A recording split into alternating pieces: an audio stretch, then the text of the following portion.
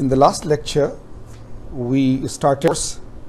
I introduced myself and then a little bit more just so that we can have introduction of the instructor before the course.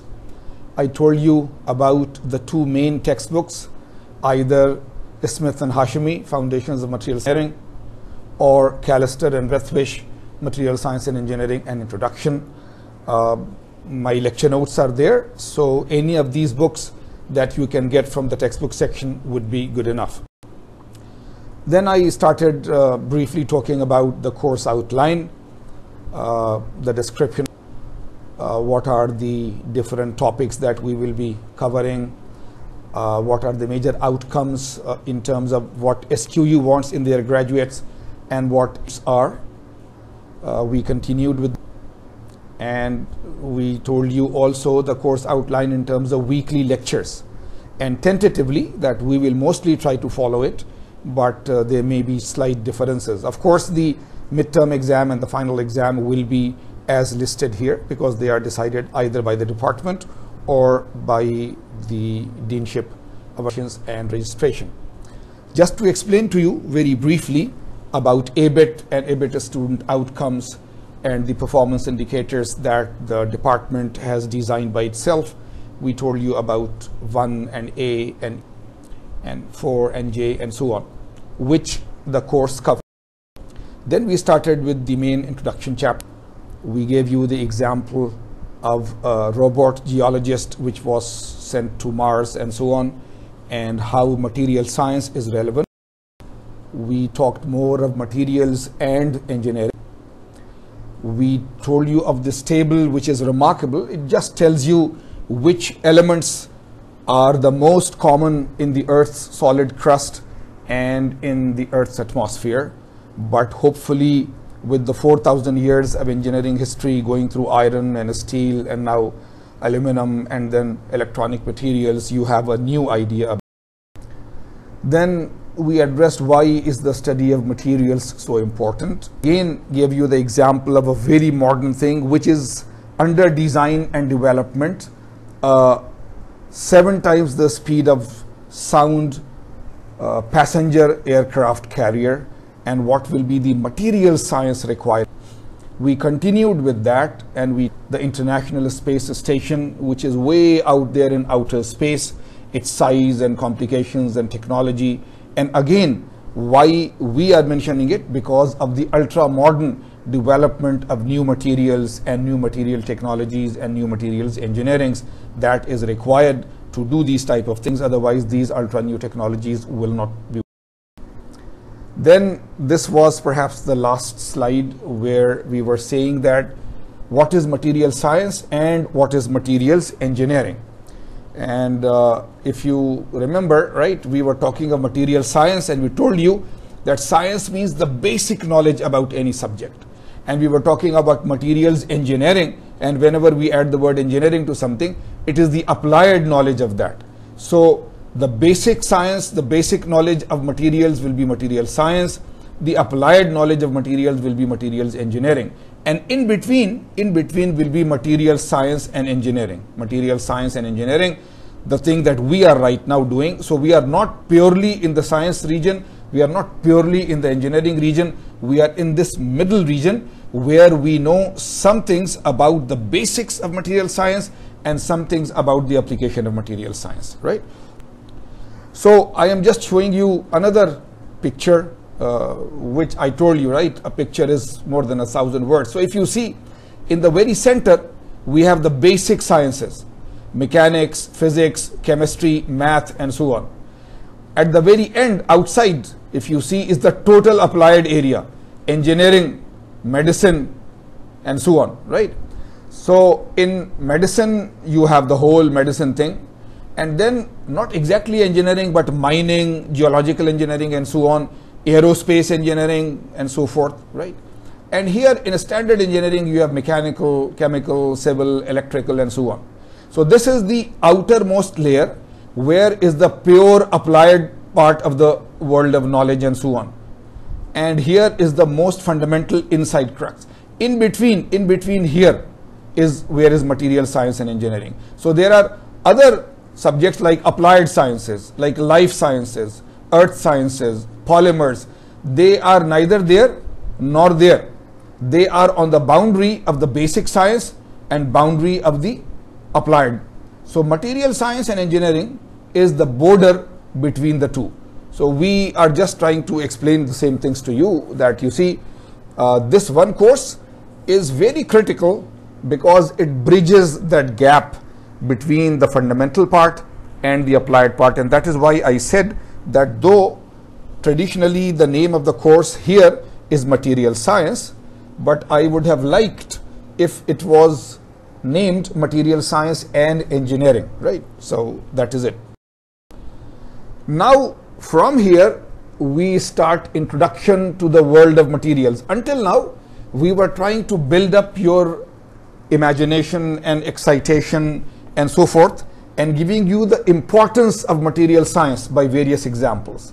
Now the core that if we are in material science then that means we want to study materials. So can we divide materials into big major chunks or categories where one type of materials, there are many materials inside that one type because they behave in a similar manner, right? So I will tell you later on, uh, we will go through each one of them. Here, if you say, see, we start with metallic materials or metals. Later on, we will tell you that there is another category called polymers. Okay. Later on, we will tell you there is another category called ceramics. So metals, polymers, and ceramics are the three most well-known big categories of materials. Automatically, there will be a fourth category which we don't talk about too much, which will be called non-metals, right? You understand? Metals, ceramics, polymers, and then like oxygen and nitrogen and so on, which don't belong to any of these categories, will be non-metals. So these are the four basic categories of materials and then will come some complicated like we will go to composites and we will see that composites is neither metals nor polymers nor ceramics but a mixture of these. So that will be composites. And then there will be some other types of material classifications based on their application like electronic materials. They could be metals or ceramics or whatever but if they are applied in the field of electronics they are electronic materials. There will be biomaterials, any type of materials, whether they are metals or whatever, but if they are used in biological applications, then they will be biomaterials, right? So these are the major basic categories of materials. Inside each of them, there will be many of them. We will study later on. So here, let us see metallic materials. So again, don't read further, just stop at the heading. If you have to define metals, right? You have done so many courses from early childhood, school, middle school, then to basic chemistry, basic physics here in the university. What do you think if you if I give you the that in one sentence tell your younger ones what is a metal? Then what would you say? What is a metal? Right? So you see, this is how you challenge yourself. It is very basic. I, I, I know metals iron is a metal, aluminum is a metal. But yes, you are giving me names of metals. What is a metal? If, if somebody, if some child asks you, what is a man? You say, I am a man, your father is a man, you are a man. But he said, yes, yes, but what is a man? Right? So the same thing that you understand it mentally, what is a metal. But if you have to define what is a metal, what would you say? Right? So let us go here. I mean, you see, if you had a very clear cut one sentence definition, it would be nice. But if you did not, let me remind you. And again, this is uh, a, revision of things that you have done earlier. This is nothing new. Okay. So we are saying that metallic materials means uh, they are like iron or copper or aluminum, etc. We are very correct, right? The metallic element may combine with non-metallic metals uh, elements. This is right, like silicon may combine with carbon. Carbon is non-metal and a new compound is formed which is called silicon carbide or iron can combine with oxygen and find a new compound which is iron oxide right? So this is something else. This is not metals, but metals can form compounds. Now, metals are inorganic materials. This is the first thing they are telling you. Organic and inorganic, we will talk about it. Metals have crystalline structure, they are telling us. Metals have good thermal conductivity and good electrical conductivity. So you see in these two lines are the four basic things that metals are, right? So now if somebody asks you, you can say that metals are inorganic materials that have crystalline structure and which are good in thermal and electrical conductivity. All these four combine together in something called a metal. Okay? So now, but you see, for, for me, when you say inorganic material, inorganic, what do you mean? If you were in the class, as I told you earlier, if we are actively interacting, then it would be much nicer because we are in the class and I say, okay, you have done chemistry in the school, you have done chemistry in the university. Can you tell me what is an inorganic material? And you would try to one answer, two answer, three answer, and then we will go through. Here, I am the only one. I have to give the answers from your side also. So what is an inorganic material? You can again tell me that metals are inorganic. You can tell me that ceramics are inorganic, but polymers are organic. But this does not define what is an organic or inorganic material. So let me, I don't know if you knew, why is the word organic here? Why is the word organic here? Have any idea? Organic, what is an organ? Yes, you are right. An organ is a part of a human or an animal body.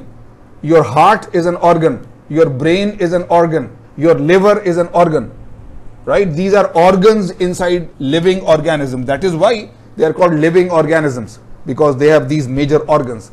So this means linguistically, language wise, when you say organic materials, then these are materials which should be found in living organisms, in humans, animals, and plants. So you see, the ones that are called organic materials were initially found there. But now, if you say organic, forget about inorganic. If you say organic, most of the organic materials, according to you, are found where? Yes, those of you are right who say they are found in petroleums and gases. Right? When you have crude oil or natural gases, most of those are called organic materials. So they are not called organic because they are coming from the earth. They are called organic because originally these type of materials were found inside living organisms. But this is one thing where they come from. But what are organic? I'm again, I'm not saying these first two letters in, remove the in. I'm talking of only organic. What are organic materials in general? Yes, those of you who remember your chemistry, these are generally long chains of carbon and hydrogen. Right? That is how it is and so on. Carbon, hydrogen and so all the petrochemical things are hydrocarbons, right? So because these are also find, found inside human beings and animals, right? Our proteins and so on also have carbon, hydrogen uh, materials and so on. Therefore, we call them. I'll continue.